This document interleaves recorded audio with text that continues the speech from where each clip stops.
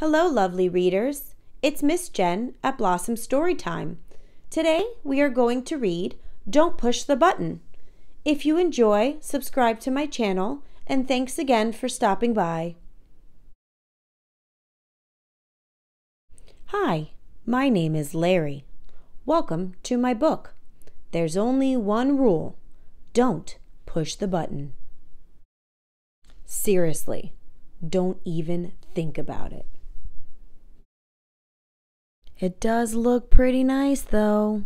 I wonder what would happen if we pushed it. No, we can't. We mustn't. Psst. No one is looking. You should give the button one little push. Ah! Now I'm yellow. Push it again.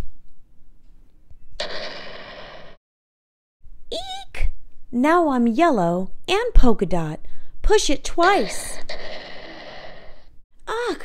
Now there's two of me. Push it a bunch of times. Uh oh. Shake the book to get rid of all the extra Larrys. Almost. A little more.